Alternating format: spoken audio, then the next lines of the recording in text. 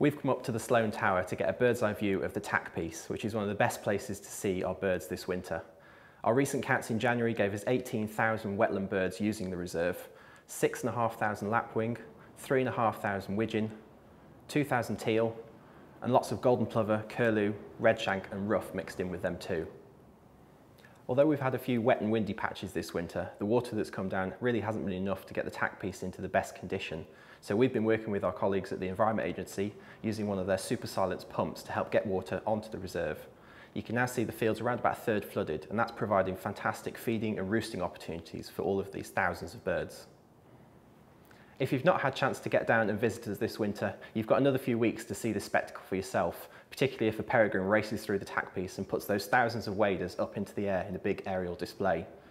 All these birds will soon start heading off back towards their breeding grounds in the north and the east. And even here at Slimbridge, we're starting to see the first of our breeding birds start to return, things like avocets and oyster catchers. And it won't be too long before we start to say goodbye to our Bewick swans for another season.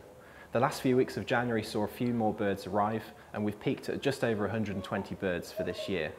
And one of those latest to arrive was Dealer, who's returned to meet her partner Croupier, and they've been together for 19 years, so it's fantastic to have them back as a pair on the pond.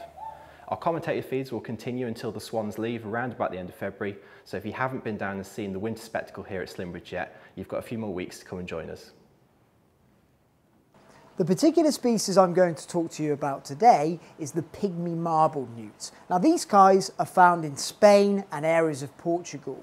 Now the reason why they're called the pygmy marble newt is because there's another species very similar but just a lot bigger called the marble newt and they're found throughout Spain and France.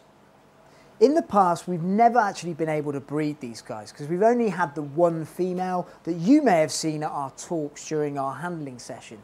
But last year we acquired two males, so this year they've laid eggs. What's unusual is she actually laid eggs at 9 degrees, and most of the time, most of the temperate species lay eggs around about 15 degrees. A lot of newts lay their eggs on aquatic vegetation. What we do here at Slimbridge, to, so we don't upset the natural setups is we'll add strips of bin bag liner during the breeding season so the newts can lay their eggs on them. That means that we can remove the eggs and the bin liner without affecting their tanks. We've noticed that there are some fertile eggs already on the bin bag strips and she's still swollen with eggs so hopefully she'll continue to lay throughout the breeding season and we'll get some success with some young coming through this year. Hello there, and today you join us in the small mammal viewing gallery down here at Back from the Brink, next door to the otters, but we're in front of our water vole exhibit, and we have a new inhabitant. His name's Leonard, and he's just joined our living collection here. And uh, unlike his uh, distant cousins, the dormouse, he won't be hibernating over winter. As a small mammal, he's got to find the food for himself. Now here he does get spoilt with plenty of fresh food and veg and rabbit pellets uh, to keep him crunching away. So the wild population of water voles aren't as lucky as Leonard. They don't get the food delivered. They have to find it themselves. And in the harsh conditions of winter, anything will do.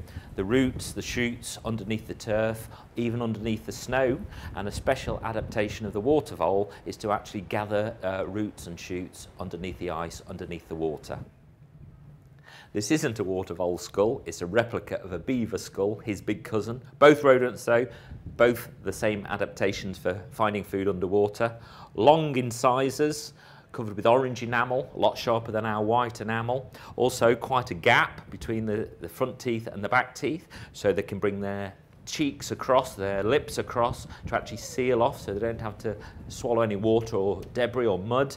Also large molars at the back to grind down their food. It's very hard, tough substance to grind it down before they swallow it. So next time you're passing back from the Brink, call in and see Leonard in the viewing gallery. Good place to look for the voles in this uh, enclosure. He's by his food. He likes to uh, fill his stomach throughout the day, but also if he's having a kip in his hollow log, look in the uh, reeds and the straw and see if you might see his tail sticking out the side of it. A common question we receive at this time of year is how do birds keep warm during freezing conditions? It's actually a fantastic question because birds have evolved a counter-current heat exchange system, a bit like heat recycling, and we're going to tell you all about that now.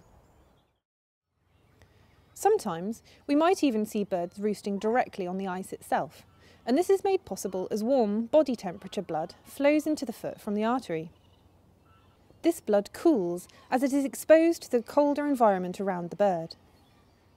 At the same time, cooler blood is warmed up on its way back into the body.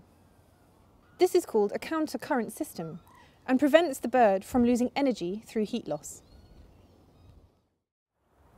Northern duck species like the mallard, pintail and shoveler have excellent heat exchange systems. In addition, they'll also spend a lot of the night moving around being nocturnal feeders, helping to keep them warm and toasty all night long.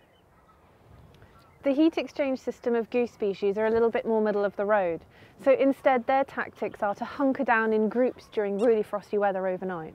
And entertainingly, in the morning you'll often see these little ovals in the ice where they've kept it warm all night. Some of the tropical species in the collection, such as the magpie geese and screamers, are definitely not evolved for the cold temperatures we experience here in the UK.